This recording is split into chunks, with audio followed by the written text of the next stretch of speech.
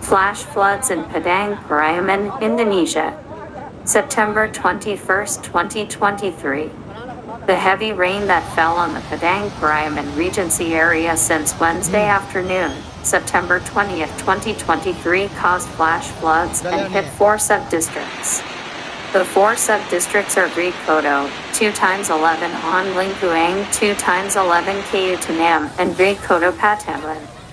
Four kiosks in the Tandikek Market area, Patamuan district, were swept away after the building collapsed under the Batang Sani current which almost overflowed onto the road. The strong current damaged at least four shop houses and caused a bridge to crack. Currently the rain has started to stop but no action has been taken on the affected buildings. Luckily there were no casualties in this incident, but losses are estimated at hundreds of millions of rupiah. Currently, a rapid reaction team from BPBD Padang Pariaman Regency has been deployed to the flood location. We also continue to carry out direct monitoring in the field to anticipate the impact of flash floods.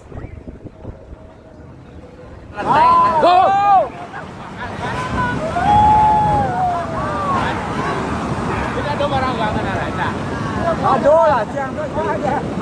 ada?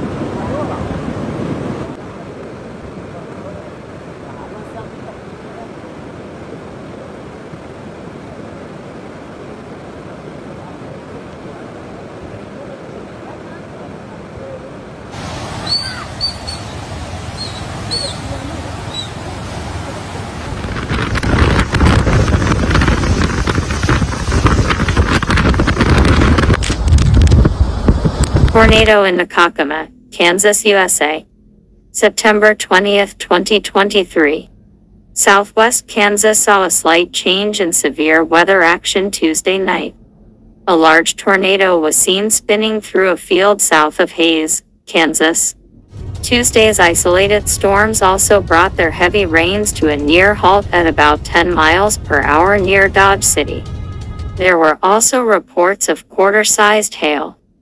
Severe storms and heavy rains once again pounded the plains targeting Oklahoma and parts of North Texas.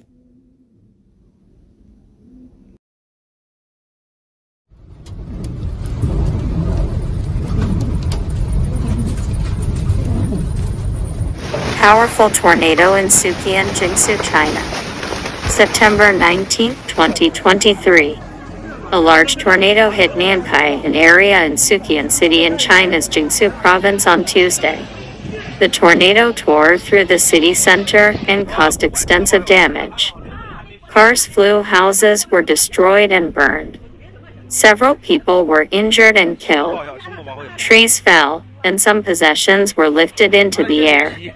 After the tornado passed, the city center looked like a war zone in terrible condition. The tornado likely moved directly through the city center, causing many injuries and several fatalities.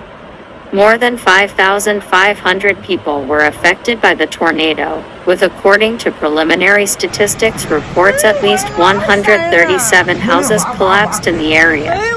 The CCTV report also stated that more than 400 people were temporarily relocated due to the tornado. Videos circulating on social media showed the force of the tornado tearing through buildings, vehicles, and trees, lifting them into flying debris.